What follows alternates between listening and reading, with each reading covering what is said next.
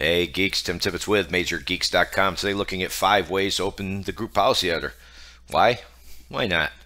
So group policy editor lets you do all sorts of configuring and editing in your computer that you'll never find in your control panel or settings, for example. So here's a guide here following a couple of easy steps as well at the bottom of this page, which I will link to in the video description.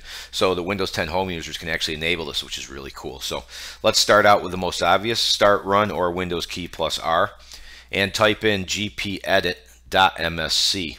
Once you do that, group policy editor comes up and just really, really quick as a sidebar for those of you who aren't familiar with it, you usually end up when you're tweaking your computer mostly, not always, but mostly in the administrative templates. You can see here's your control panel, your network. Here's all the stuff you can get at. Printers, server, system. A lot of times in Windows components, there's a lot of stuff in here to play around with. So there's your camera. So what you do is say allow use of camera. You can double click that and right here on the right it'll always explain to you. This policy setting allows use of camera devices on the machine. If you enable or do not configure, not configured is the most common default for everything in Group Policy Editor, the camera will be disabled, enabled. So if you disable it, see it gets a little confusing, right? Camera will be disabled. Some of them are backwards. So there's there you go. So if you click disabled, camera is off, you click apply, click OK, and you're out. So just a quick look at how it works. No big deal. And now back to what we were talking about. Windows search. Whether you use Cortana or press your Windows key plus S you start typing in group policy editor and you click on edit group policy. There it is. This is handy if one of these, for example, your start run isn't working. Just so you know there's other ways you can do it and some neat stuff as well. Similar to that step, almost identical.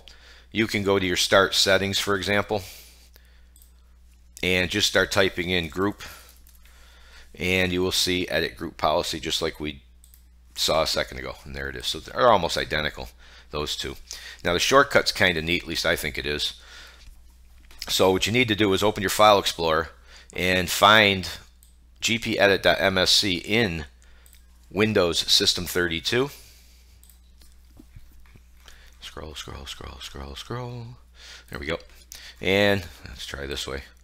Uh, so once you find gpedit.msc, you can right click on it as you watch me scroll like a madman trying to get to it, making it look uh, nice and smooth. Well, that failed. GP edit, where'd you go? Oh my god, you guys are probably laughing at me right now. There it is, holy cow. Look for that little yellowish ribbon to help you spot it. Right click on it and you can pin it to your start menu. You could pin it to your taskbar or you could create a shortcut and it'll put it on your desktop. Let's make sure that worked. There it is right there. Pretty neat. So then you could have it on your start, you could have it on your taskbar, and that's you know more for power users, people who find themselves using it frequently. And last and certainly not least, PowerShell and command prompt geeks. You want to either Win S search and CMD, right click or click here where it says run as administrator, one of the two. There you go. Uh, I'm using Windows 10, so what I'm going to do is I'm going to use the Windows key plus X, and I'm going to run Windows PowerShell as admin. And as you could probably guess, you've heard it four times so far. All we got to do is type in gp edit, press enter, wait a second or two, and there it is. So there you go. There's five different ways to get it open if you're having trouble with it. A brief, brief explanation for Windows 10 home users who might not be familiar with it. And as mentioned, there is the enable group policy story so that you can come over here, download the needed file, and run a bat file. It's relatively simple. Just follow the steps. And there you go. Click like, subscribe, blah, blah, blah. Thanks for watching.